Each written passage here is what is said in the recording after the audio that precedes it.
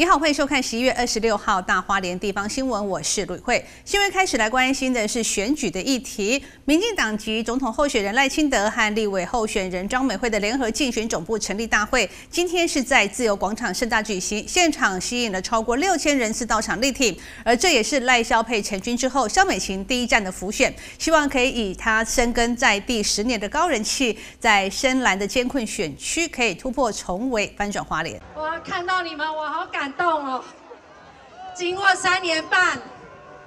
花莲我又回来了。民进党及副总统候选人萧美琴，经过三年半的时间，再次回到花莲，站上竞选舞台，造成广大乡亲热烈回响。这是民进党花莲联合竞选总部成立大会，二十六号上午在国安邮局旁自由广场盛大举行，现场满满人潮，吸引超过六千人到场力挺。而这也是赖萧配成军后的首战浮选。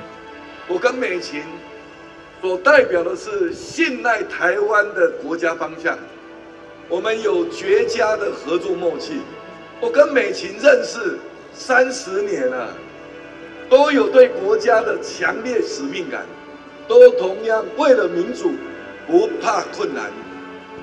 我们坚定地走在信赖台湾的道路上，要让台湾持续壮大，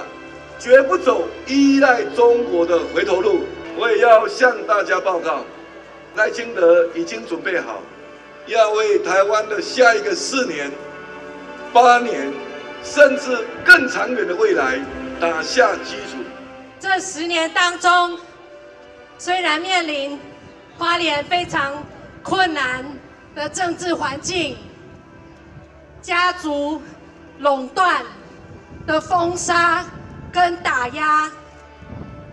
但是。在这个过程当中，有五六四八五位的你们，始终对我不离不弃，跟我站在一起，让我可以脚步更踏实，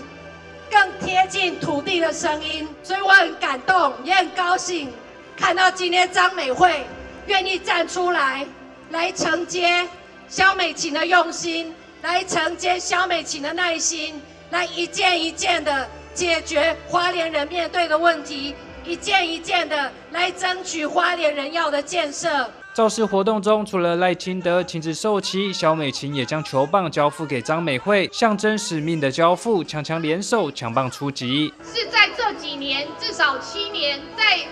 县市的竞争力、永续力的排行，花莲从来没有赢过台东，花莲都在十名以外。台东从来没有掉到十名以外，光这七年就是这样。对于花莲，我们一定要改变，我们一定要翻转，我们要为像田志轩、萧美琴这样无私奉献、为花莲努力、为花莲打拼的从业政治从业为民服务工作者。大家说这样好不好？造势活动中，赖清德也端出多项政策牛肉。他表示，打造国家的希望工程，所有县市必须手牵手向前迈进。而台湾需要均衡发展，行政院与地方政府也将密切合作，让年轻人都可以回乡打拼，打造健康国家，也让世界拥抱台湾。记者徐丽琴，华联市报道。